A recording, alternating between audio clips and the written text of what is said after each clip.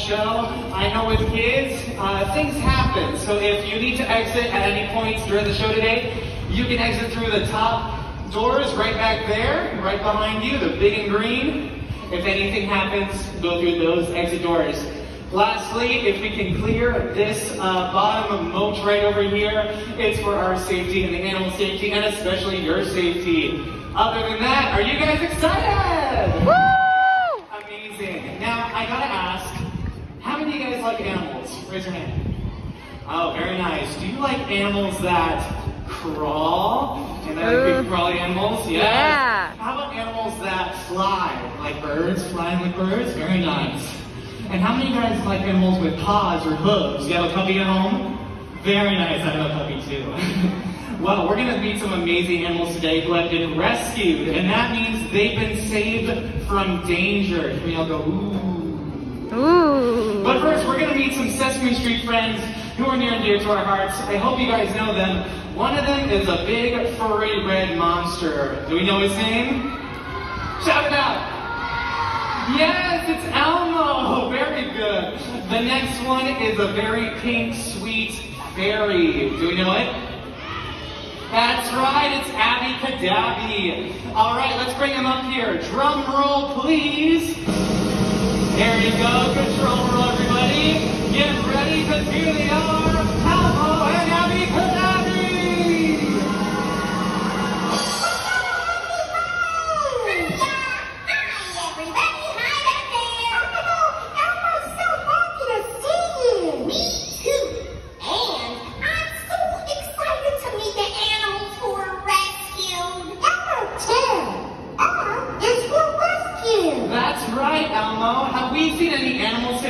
park? Raise your hand. Have you seen any? Yeah. Nice. How about you guys? Elmo, Abby, have you seen any today? Oh,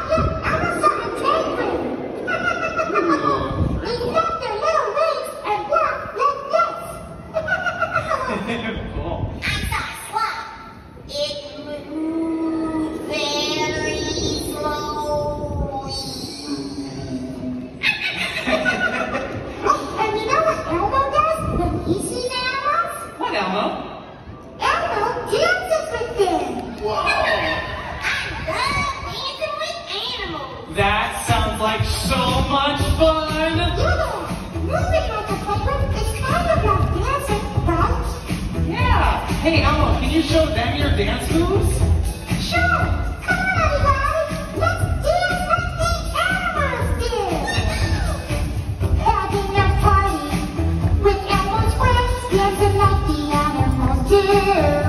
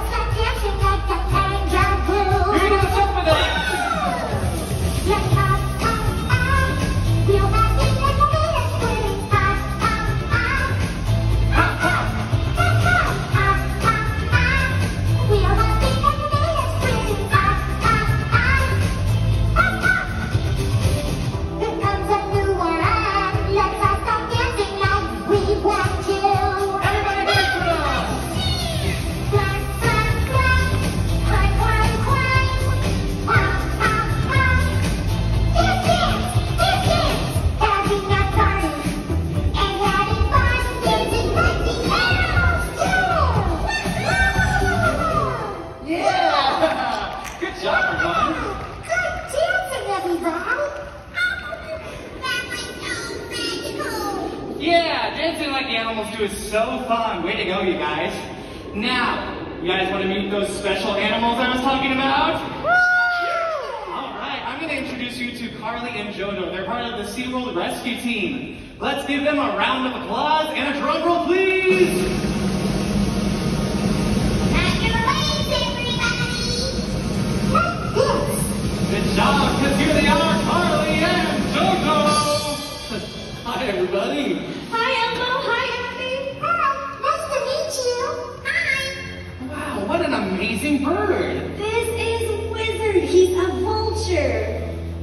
Is uh, a ris- wizard and rescue animal? He sure is. Why did he need to be rescued? Well, Wizard used to live in the wild, but his wings got tangled up in power lines. Oh. Poor Wizard. That's so sad. Yes, but one of our SeaWorld rescue teams took care of them. And that's what rescue teams do. They work all over the world helping animals when they get hurt. Do most hurt animals just go back to the wild? Well, we rescue and release as many as we can. But sometimes after we help them, we're able to return them to the wild. Like if a bird can't fly anymore, or if an otter can't catch some food. What about happens then? Do you take care of them and give them a new home? We do, Abby. We give them a second chance at life. They become animal ambassadors where we take them to schools and events, and they get to meet people. Oh, and monsters and fairies. Kids just like you guys. Now, Wizard is one of our favorite animals to share. And I'm going to get our next guest, well, Carly tells you a little bit more about it. After Wizard here hurt his wings, he couldn't extend them quite all the way and he couldn't fly. Not nearly as well as vultures are supposed to. And vultures love to fly. They use those big wings to glide high up in the sky. What are they doing up there? Just flying around? They're going like this. They're sniffing? They're sniffing, right? And what happens when you sniff something? You smell? You smell something. You smell it. That's right. See, vultures have beaks that are like super duper smelling machines with big holes on the sides of their beaks that they can use to smell things from way up high. Now, do you guys have any idea what they're smelling for up there? Hmm, Uh, beautiful flowers? Trees? They are smelling for the most gross, disgusting, stinky, rotten things they can find. That sounds like Oscar. It does, Becky. Now, do you guys think Wizard says yuck to stinky, rotten things? I would. I. No, he says yummy lunch. See, vultures eat carrion, which is dead stuff. All the yucky things that nobody else wants to eat, vultures here find delicious. Oh, see, vultures are helpful because they eat all the things that we don't want to touch.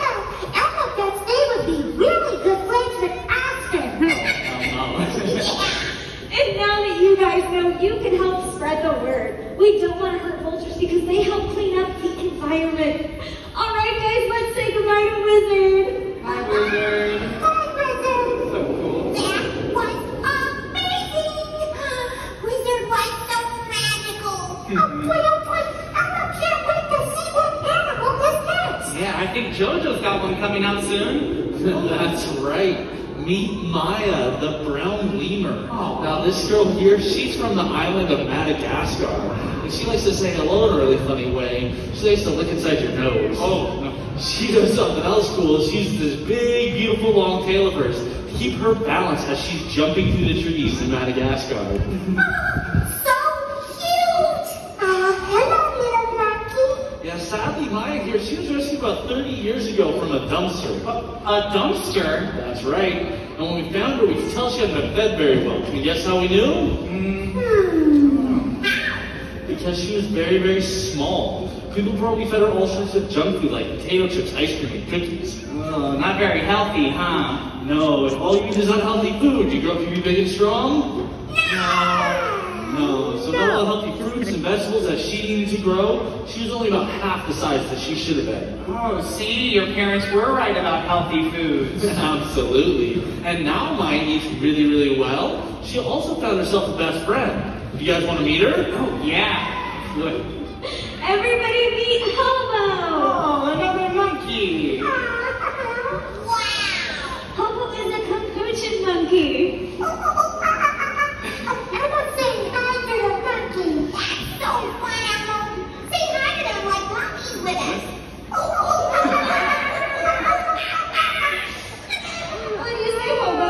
She says hi back. Aww. Is this another rescue animal? She is. Hobo was rescued a long, long time ago. She's now 52 years old. Really? Wow! Now with monkeys this old, do you guys think they could be returned to the wild? Sadly, no. Neither of these monkeys know how to survive in the wild. That's why they have a safe home with us being animal ambassadors. Mm. You guys want to see something cool about a capuchin monkey? Yeah. All right, let's our hands. And what do we call this right here? Oh. Um, right, now let's see if we can take a quick peek at Hobo's hands. Yep, feeling a little shy today. She's got a thumb just like us. Hey, let's wiggle our thumbs together, just like. See, monkeys are just like our animal cousins. Wow! We're kind of cousins, Hobo. And mine, too. That's right. Now, lemurs and capuchin monkeys need our help. See, almost every single monkey species is endangered in the wild. That means there's not many of them left. That's why it's so important to help protect them and where they live. And our environment right here in California. All right, everybody, let's say goodbye to Maya and Hobo. Bye.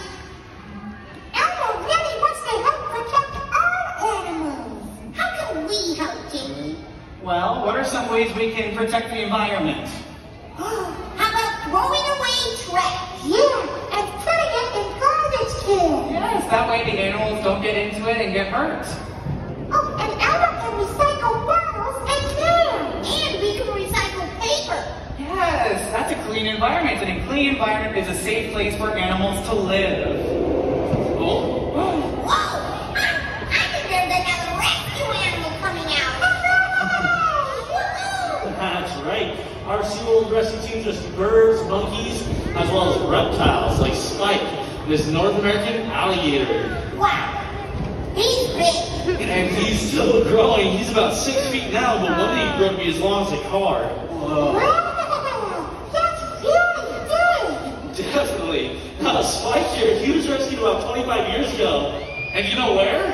Where? A bathtub. A lot of That's right. The police found him living in a bathtub. And now police are trying to keep us safe, but only people are trained to deal with wild animals to do so. So they called us and we rescued him. That he's an amazing ambassador of his time. showing people how cool alligators are. And you know, the North American alligator used to be in big, big trouble, but they aren't anymore. Wow. That's crazy. in fact, the Northern, North American alligator was almost extinct. You guys know what extinct means, right? That's when there's none of them left on the planet. The North American alligator was almost extinct, but people who cared about them, protected them, protected their homes, that was over 5 million alligators back out in the wild. Wow, that's amazing. Definitely, that also means they're taken off the endangered species list. Oh, wonderful. Let's give them a round of applause. I do love an environmental success story. Oh, so do we. Can we all say bye, Spike? No, you say, see you later, alligator. In a wild crocodile. Oh. In a wild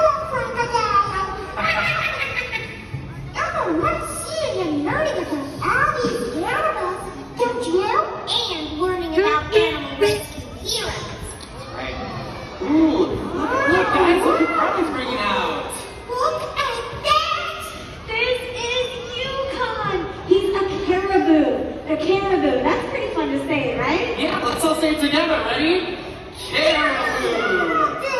Think so. So caribou come from the Arctic. And what do we know about the Arctic? Is it really warm up there? Oh. No, it's cold, and caribou love the cold. In those colder months, they've got really thick fur, just like a polar bear. Yukon here was found in a state called Missouri, where it gets really, really hot in the summertime. Do you guys think he was happy there? Oh. No, not happy at all. So he was rescued, and now he lives with us. Oh, great. Wait, wait, wait. Hold on. Isn't it hot down here, too? Oh, that's a great point. When it gets too warm down here, Yukon's got a home up in the northern California mountains, where it stays much cooler. Ah, cool! Cool as a caribou. Hey, let's see what she did. You kind of remind me of another animal. Oh, what's that, Abby? Santa's reindeer. Oh, Look how it yeah. It does, doesn't it, you guys?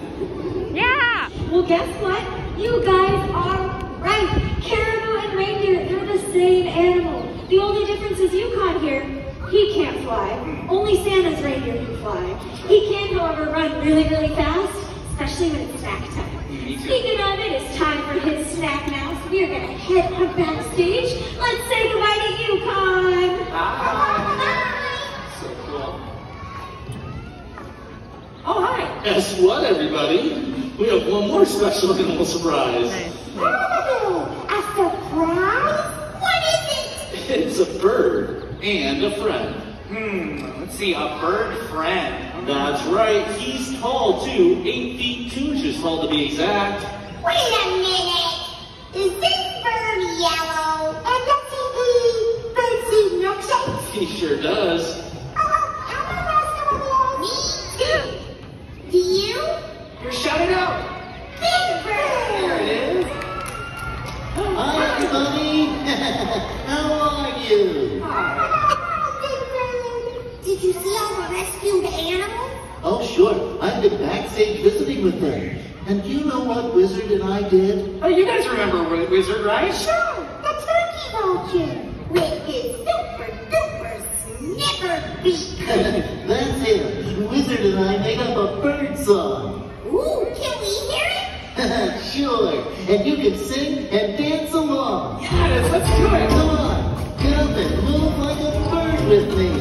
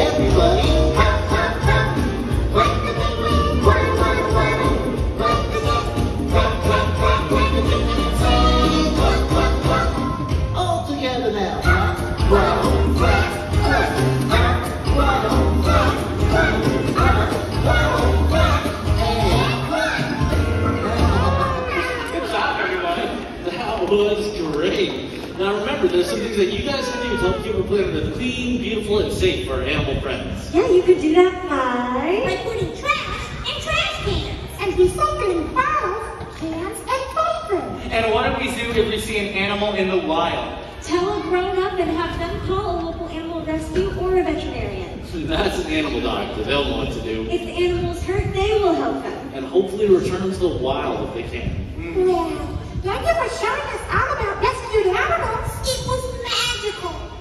Thank you. You're very welcome. and thanks for singing along. Yeah, thanks you guys.